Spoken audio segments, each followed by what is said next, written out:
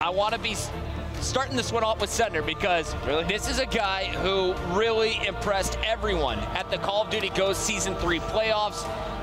Helped Noble get to a second place finish there. He has not skipped a beat coming into this new game. Yeah, Sender has looked so good right now. Every single time you see this guy play, he's got that hype. And that's what I love about Sender. Ever since I first casted over Sender, I remember just hearing him scream. And I was like, what, what is this guy doing? He's so loud, but he gets pumped up. And I imagine that booth is going to get so loud as well, Puckett.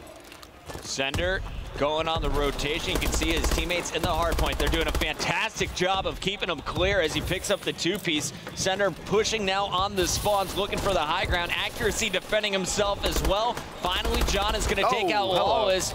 And Sender starting things off the way I expected. 3-0 also got to give credit to Happy. We were oh, waiting to see him for the first time on land. Happy opening things up 5 and 2. Let's go over to him.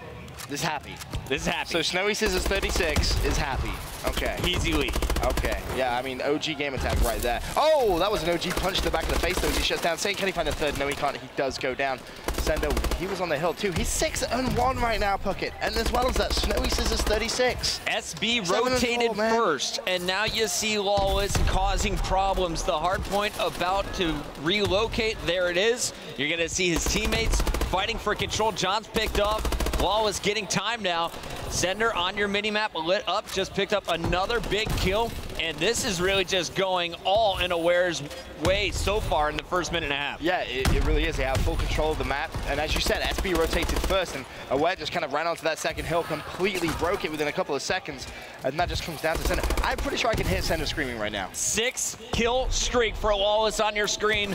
He has been going off here after a one and three start. Let's go over to Sender. 10 and two leads all players. He falls up to accuracy.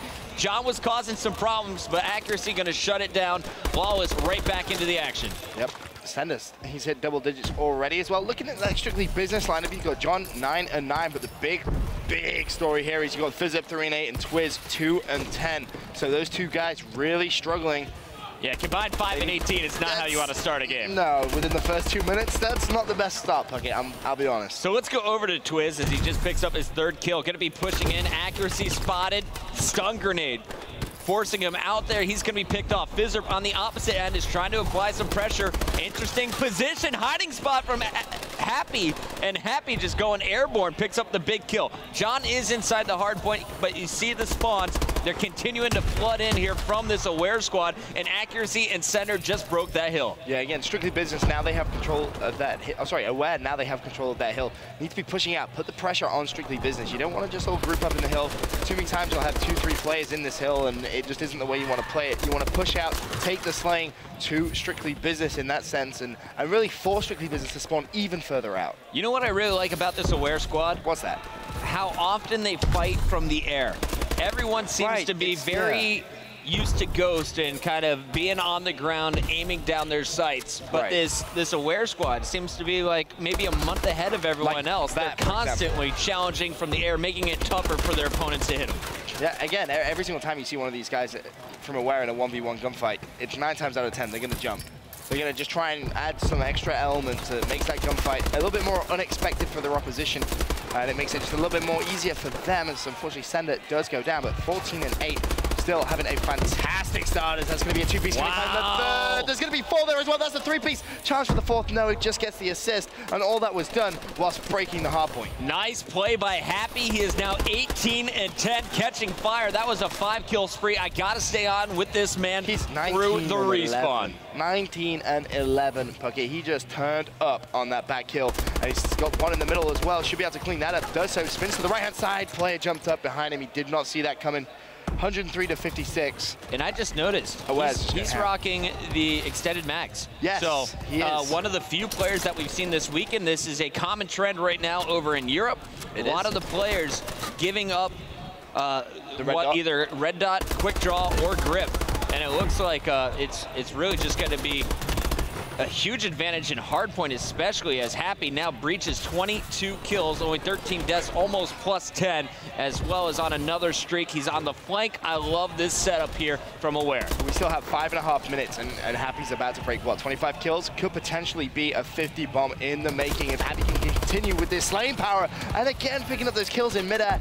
He's just mastered Exo movement and Exo abilities. Sender was talking about it. He said, you know, I wanted to team with some old friends. So I called accuracy and Lawless, and they wanted to play with this Happy kid. He trusted his friends, and wow, what a good decision that was. Great call. Happy looking incredible here in our first preview on the main stage. On the other side, let's go over to Twiz. This was a guy who actually finished on top of the leaderboard for Season 3 Ghost regular season. Uh, overall KD, he was the man.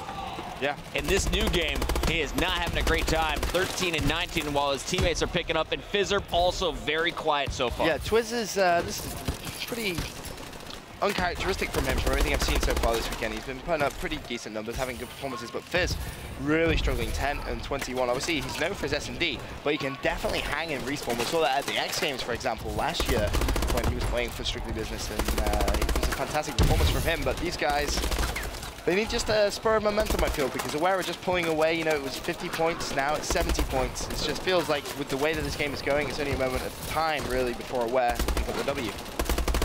Happy continuing to rotate around this map. You can see those red arrows, the two split out to the right. Happy's gonna go far left, player right behind him. He's not gonna last long here.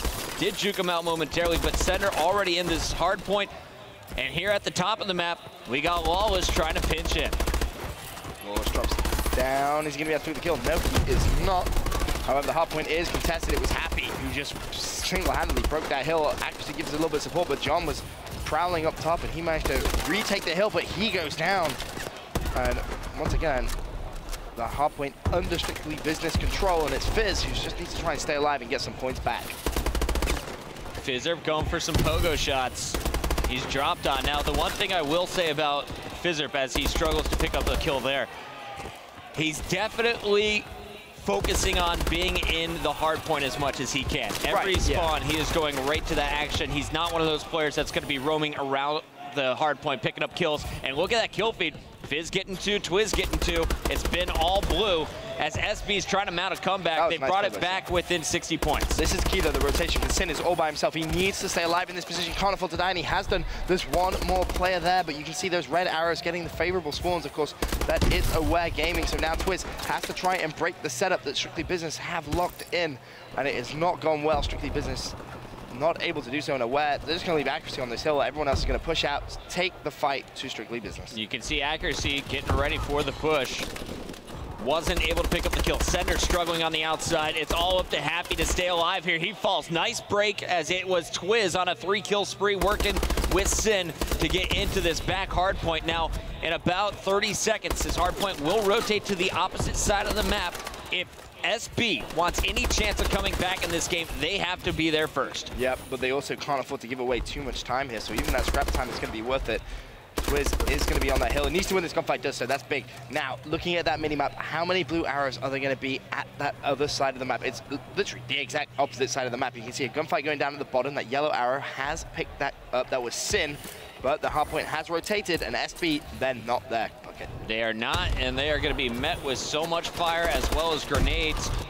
Twiz on the far left is going to watch two of his teammates fall on the right side. Fizzerp does get one, but I mean, Twiz, you reached the top, brother, but you're not going to last long, says Sender. Takes him down. 33 kills already for Sender. Happy, a kill away from his 40 bomb. There it is. Sin also, we should mention, 38 and 31, with six caps. He's had a pretty decent game in the slaying category, but when it comes down to holding a hard point, SB have just not looked as good as Aware.